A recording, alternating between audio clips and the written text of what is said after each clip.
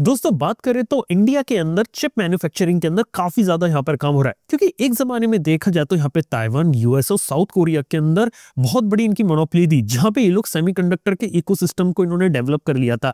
लेकिन इंडिया के साथ प्रॉब्लम यहाँ पर ये थी कि हम लोग यहाँ पे ज़्यादातर असेंबलिंग कर रहे थे और जो मेजर जो चिप लेवल की जो चीज़ें रहती है ना, उसको हम यहाँ पे थोड़ा सा लूज कर रहे थे। क्योंकि आज भी जो ज़्यादातर जो चिप्स हम इंडिया के अंदर लेकर आते हैं, वो मोजरली यहाँ पे चाइना या साउथ कोरिया से यहाँ पर आती है।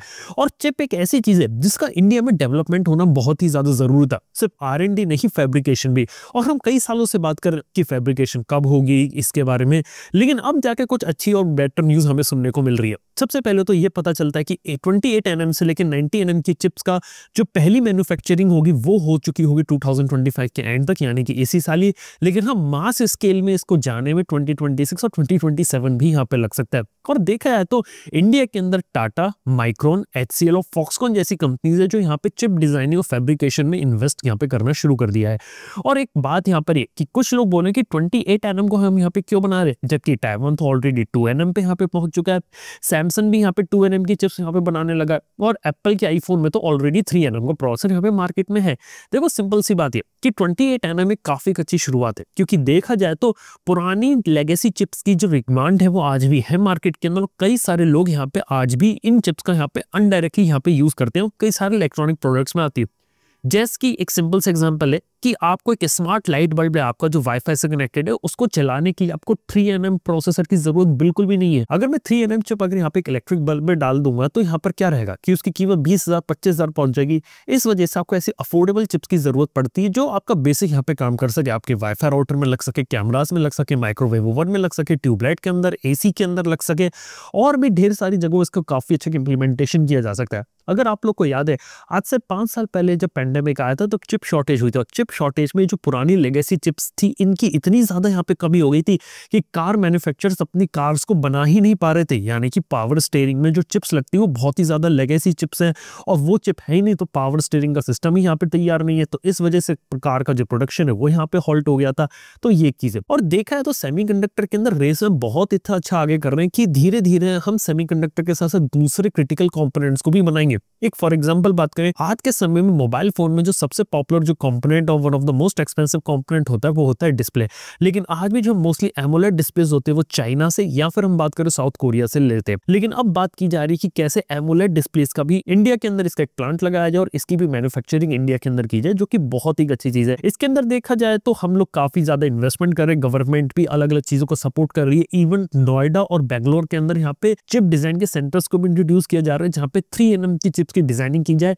और एम ये रखा जा रहा है कि 2030 तक हम लोग 3 एनएम वाली चिप्स को इन हाउस ही डिज़ाइन करके इन हाउस यहाँ पे प्रोड्यूस और फैब्रिकेट यहाँ पर कर ले, जो की बहुत ही अच्छी चीज़ हो सकती है यहाँ पे। इसके साथ ही बात की जाए तो यहाँ पे टाटा की धुलेरा के अंदर फैसिलिटी है जो यहाँ पे वो बिल्ड कर रहा है। इसके साथ ही देखा तो कई सारी अलग अलग चीज़ों पर काम हो रहा है। इसके साथ ही जो डोमेस्टिक डिमांड बढ़ी है ईवी का इंडिया के अंदर एक रिवोल्यूशन आया जहाँ पे अलग अलग इलेक्ट्रॉनिक कंपोनेंट की डिमांड बढ़ी है। और डेफिनेटली अगर हम बात करें मोबाइल फ़ोन इंडस्ट्री है तो इंडिया देखा तो one of the leading mobile phone exporter यहाँ पर बन रहा है। मतलब फन फैक्ट की बात है कि टिन कुक ने रिसेंटली कंफर्म किया कि मेजोरिटी आईफोन जो यूएसए में बिक रहे हैं आज के समय में, वो ज़्यादातर अब इंडिया में यहाँ पे बन रहे हैं। तो ये भी काफ़ी इंटरेस्टिंग चीज़ है, जिसके अंदर अगर ज़्यादा से ज़्यादा कंपोनेंट की अगर मैन्युफैक्चरिंग अगर इंडिया में होगी तो उसे यहाँ पे बेनिफिट मिलेगा। इसके अलावा इंडिया के अंदर सेमिकॉन जैसे कुछ इवेंट्स को भी ऑर्गेनाइज किया जा रहा है, ताकि जो ग्लोबल चिप के लीडर्स और कंपनीज़ और जो एग्जीक्यूटिव हो, वो इंडिया में है, आपस में कोलेबरेट करे और एक प्लेटफॉर्म मिले, जहाँ पे चिप मैन्युफैक्चरिंग के अंदर हम थोड़ा और यहाँ पे ज़्यादा काफ़ी काम कर सके। और फाइनली यहाँ पर ये एम रखा गया है कि 2030 तक इंडिया को एक सेमीकंडक्टर हब बनाना है, जिसके अंदर हम मेजोरिटी चिप्स जो हम यूज़ करेंगे, वो हम इंडिया में ही डिज़ाइन और फैब्रिकेट करेंगे। अभी पाँच साल बाकी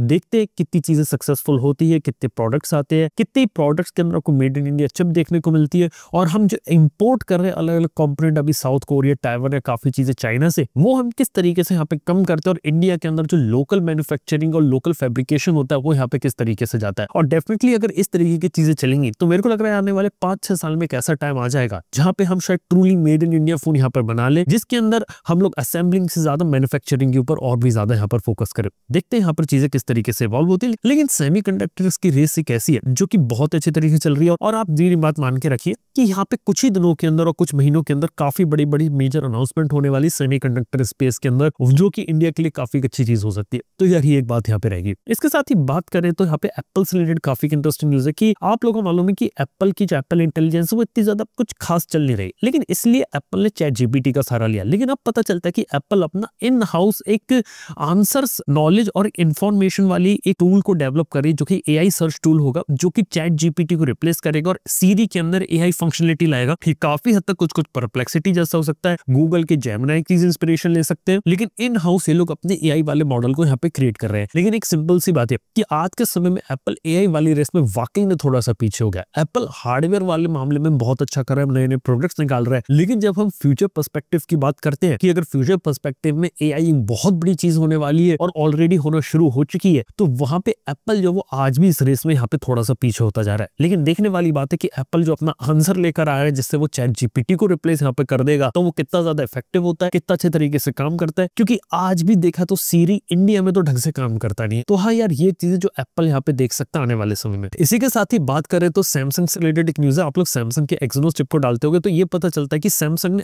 एक्सनोस ट्वेंटी को टू एन चिप पे कंफर्म कर दिया कि वो आने वाला है। इसके साथ ही ऑन डिवाइस ए फंक्शनलिटी होगी और बेंच के अंदर काफ़ी सुपीरियर रिज़ल्ट होंगे। इसके साथ ही एक्सोस चिप की सबसे बड़ी प्रॉब्लम थी कि उसके अंदर हीटिंग होती है। इस वजह से सैमसंग है ना, इसके अंदर एडवांस हीट मैनेजमेंट को यूज़ कर रहा है, जिस कारण से चिप की हीटिंग कम से कम की जा सके और टू एन चिप पे हाई परफॉर्मेंस निकाली जा सके। उम्मीद करते कि सैमसंग गैलेक्सी एस में ये चिप यहाँ पर आ जाए। हालाँकि एक सिंपल सी बात है कि कॉलकॉम का स्नैपड्रैगन ज़्यादा पावरफुल हो रहा है, ज़्यादा बेटर हो रहा है और उसके अंदर हाई एंड परफॉर्मेंस भी ज़्यादा मिल रही है। तो कॉलकॉम स्नैपड्रैगन से इस एक्सनोस किस तरीके से लड़ पाता है? और ये बात देखने वाली है, क्या सैमसंग वाले टोटली एक्सनोस पे जाते हैं स्नैपड्रैगन के पीछे जाती है, बीच का एक रास्ता अपनाते हैं, जिसके अंदर कुछ फ़ोन सैमसंग अपने एक्सोस पे निकालेगा, कुछ स्नैपड्रैगन पे निकालेगा। देखते हैं यहाँ पे क्या रहता है। और इसके साथ ही बात इंटरेस्टिंग है एप्पल से रिलेटेड एप्पल ने यहाँ पे जो टेंडम ओलेट रहता है, वो उसके आईपैड प्रो में आता है। और टेंडम ओलेट मार्केट में इस समय सबसे बेहतरीन ओलेट टेक्नोलॉजी है। हालाँकि ये ओलेड टेक्नोलॉजी LG ने डेवलप करी तो ये डबल लेयर पे काम करती है जिस वजह से इसकी पीक ब्राइटनेस बहुत ज़्यादा होती है। और आईपैड प्रो में इसका इतना अच्छा रिस्पॉन्स मिला कि एप्पल वाले अब इसे आईफोन और बाकी प्रोडक्ट में डालने का भी सोच रहे हैं। क्योंकि ये टेक्नोलॉजी डिस्प्ले पैनल में बहुत ही ज़्यादा सुपीरियर है क्वालिटी बहुत अच्छी प्रोड्यूस करती है। इस वजह से एप्पल के और भी प्रोडक्ट में ये चीज़ आ सकती है। हालाँकि छोटी सी इन्फॉर्मेशन ये टैंडम ओलेट